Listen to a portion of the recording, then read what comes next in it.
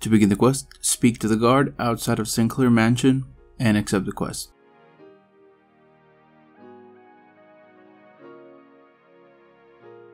Go ahead and enter the crime scene in the northeast side of the house.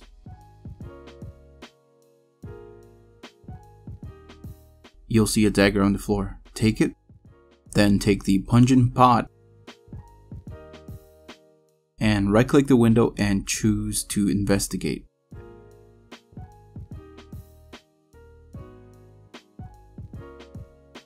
Head to the western room and you'll find two barrels in each room. Go ahead and search both of them to receive a silver necklace and Bob's silver cup.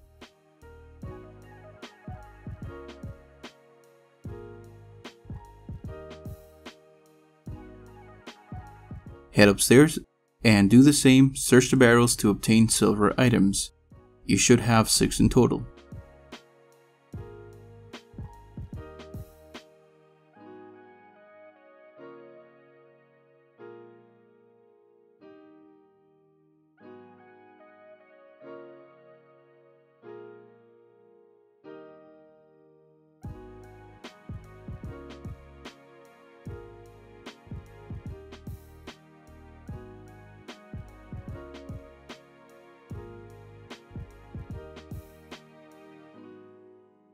On this clip, I missed the silver needle, but fortunately, I didn't need it in the end, but obviously, you might. Head outside and head to the gardener's shed just west.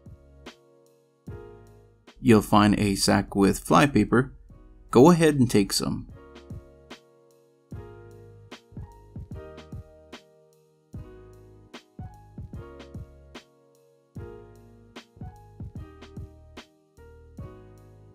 Head back inside the building, and enter the kitchen.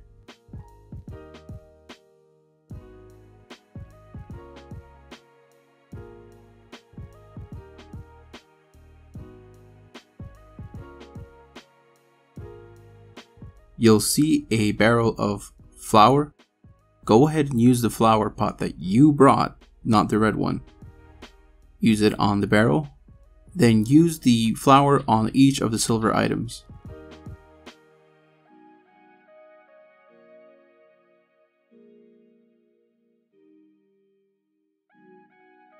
When you use the flour pot on the dagger, you'll have the original killer's fingerprints.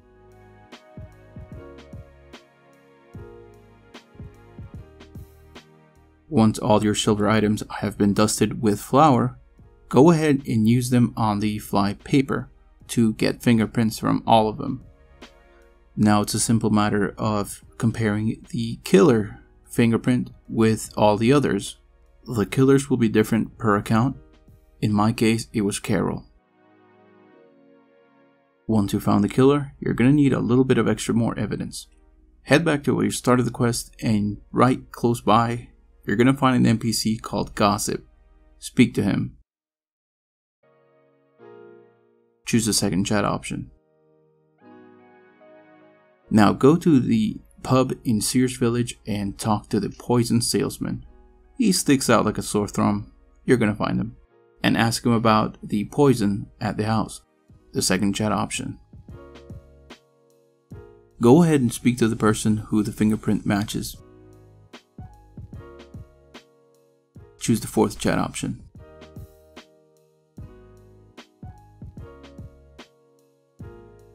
Now on screen you're going to find information on where to search, clearly depending on who the killer is for you. Once you've done that, find the smash window and investigate. This was at the beginning of the crime scene. You will be given a thread. Head to where you started the quest and choose the third chat option